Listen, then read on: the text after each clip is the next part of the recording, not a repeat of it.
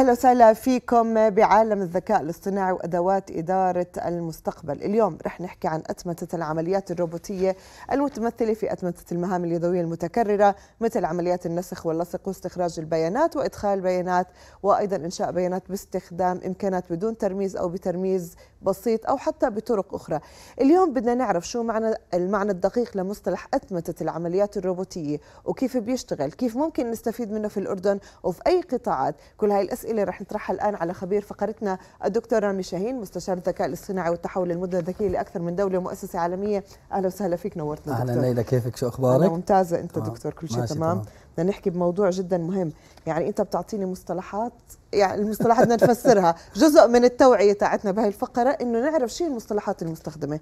أتمتت العمليات الروبوتية. صحيح. شو بنقصد فيها؟ آه ببساطة هو دماغ صغير بنسميه ال bot B O T. آه هذا الدماغ أيوة. بنعلمه أو بنعمل عملية record تسجيل لعملية روتينية بنقوم فيها. هذا الدماغ بصير يفهم هاي العملية ويقوم فيها لحاله دون الحاجة إلى موظفين موجودين على تقديم هاي الخدمة. تمام.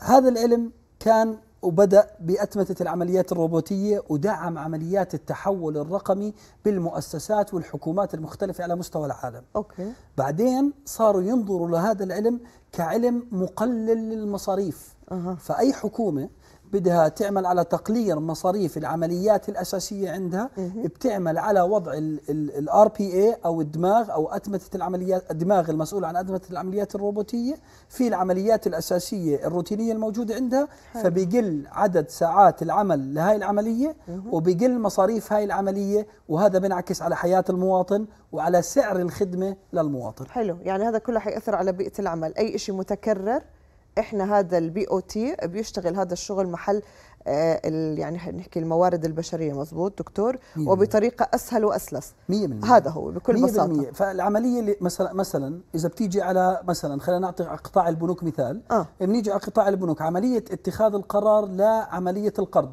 حلو. بتاخذ عدد ساعات عمل معينة من كل موظف مسؤول عن هاي العملية. تمام. لما نحط البوت عليها أو نحط دماغ الأتمتة العمليات الروبوتية على هاي العملية بيوفر بما يعدل معدل 10 ساعة 10000 ساعة عمل بالسنة. أوف 10000 ساعة؟ 10000 ساعة. أوكي. إذا حسبنا العائد على الاستثمار من من من نقسم آه، آه، معدل ال cost أو التكلفة للموظف الواحد بال 10000 وبنجمعهم مع بعض آه. بيطلع معنا الدماغ الواحد بال RPA قد إيه بيوفر بالقطاع ب department واحد أو بقسم واحد. تخيلي تعممي هاي العملية على كل الأقسام الروتينية. حلو. أول شيء المواطن راح يحصل على الخدمة بوقت أقل.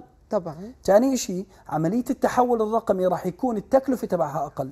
ثالث شيء وهو الأهم عمليات التحول وتسريع عمليات التحول بتكون ما فيها أخطاء حلو حلو. رابع شيء ال RP ال bot أو ال RPA بيشتغل 24 ساعة أوكي. فالخدمة متوفرة 24 فيش ساعة عطلة. للمواطن فيش فيش عطلة. عطله حلو يعني إحنا عم نحكي بس السؤال المهم طب هذا مين بيعمل هذا الدماغ أو ال BOT يعني مثلا أنا عندي شركة معينة بدي أتطور فيها م. مين بيعمل لي إياه؟ في في طريقتين لعمل آه، أنظمة الاتمته الروبوتية. أيوه. الطريقة الأولى بسموها company approach أو طريقة أو منهجية باستخدام شركة ثالثة. شر... آه، بيتم عقد مع شركة. تكنولوجيا وبصيروا يشتغلوا على كل قطاع أو كل قسم ويصيروا يبنوا عليه هذا الدماغ في. الطريقة الثانية اللي إحنا بنفضلها بمنطقة ال Levant المنطقة اللي إحنا فيها. بنسميها employee approach يعني منهجية باستخدام موظفين المؤسسة.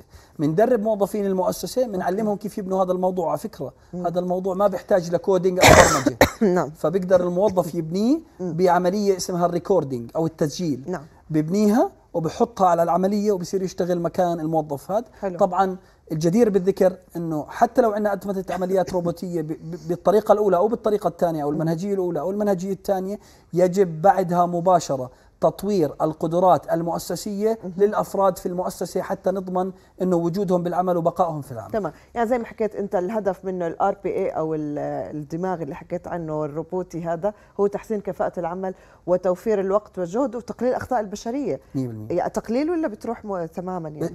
هي ال- مع الوقت بتروح آه. تماما. آه. بتبلش ب 65% ل 70% وبصير ال- الأداء يتحسن وجودة الأداء تتحسن حلو. مع الوقت لما توصل 100% تمام. تمام هلا بدنا نحكي عن الاستفادة من فوائد أتمتة العمليات الروبوتية. تحليل العملية دكتور إيش يعني تحليل العملية؟ إحنا آه، عشان نعمل نبني هذا الدماغ الدماغ لازم يفهم العملية قد إيه درجة التعقيد تبعها. أوكي. وطبعا في معادلات رياضية معينة بتخبرك كيف تحسبي وتحللي العمليات. مثلا أنت هلا عندك آه، بعدنا حلقة مع البلديات. في آه. الخدمات البلدية أيوة. اللي بتقوم فيها البلدية. هاي الخدمات بدل ما تاخذ وقت طويل بنحللها وبنحط عليها الروبوتات.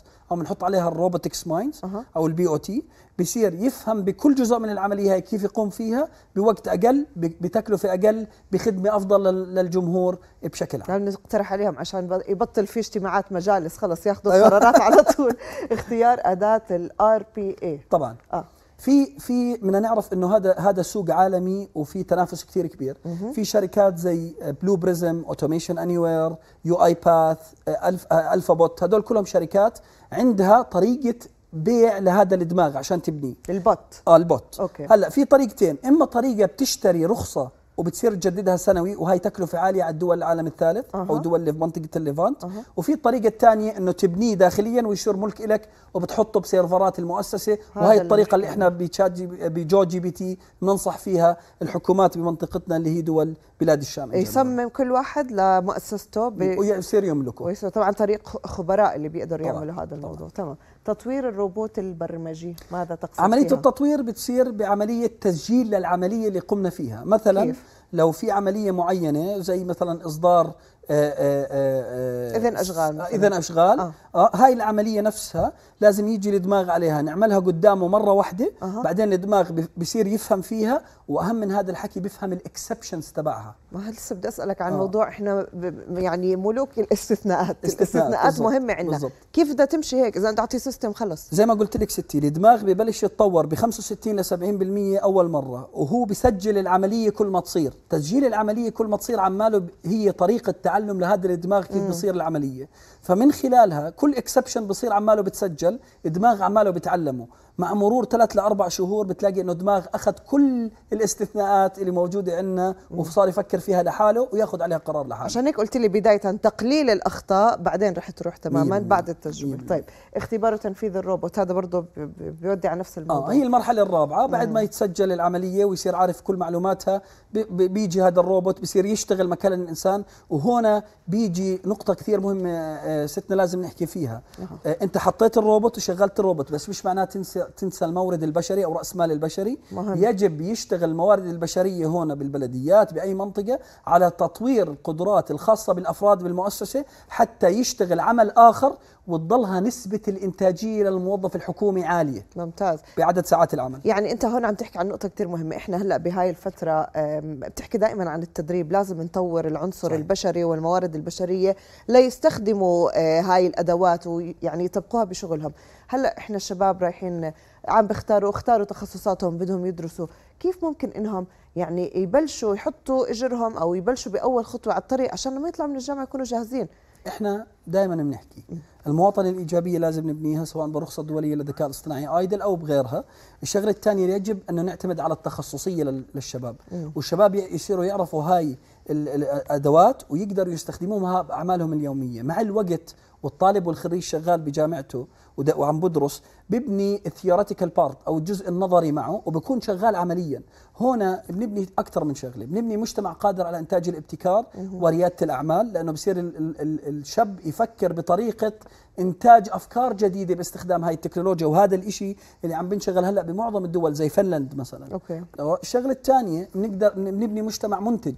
طبعاً. وهذا إشي كثير مهم. الشغلة الثالثة بنحسن الخدمات اللي موجودة عندنا بالمؤسسات. وهذا اللي بدنا آه إياه. وهذا اللي إحنا بنسعى عليه مع خطة التحديث الاقتصادي وخطة آه، تطوير قطاع العمل طيب آخر بس سؤال سريع جدا. هل إحنا في الأردن في بلشنا بموضوع اتمه العمليات الروبوتية أو في مثلا مؤسسات لو من القطاع الخاص بلشت؟ في مؤسسات بالقطاع الحكومي والقطاع الخاص بلشت بالموضوع آه، نجاح؟ و- آه، سجلوا قصص نجاح؟ والقصص تعتبر قصص نجاح ولكن إحنا ببداية متواضعة إن شاء الله مع الوقت ومع وجود خطة التحديث آه، آه، اللي موجودة عندنا بالأردن ودعم الحكومة إن شاء الله نقدر آه، نوصل لقصص نجاح كبيرة بهذا الموضوع إن شاء الله. وإحنا بنتأمل إنه نوصل لهذا الموضوع إن شاء الله. للاهداف اللي إن بنحاول. نشتغل عليها ونشوف عندنا مواردنا البشرية كمان تكون قادرة مش بس تشتغل بالأردن نقدر نصدرها برضو. الأردن ولادة ست. شاء الله أكيد إن شاء الله أمثالك دكتور.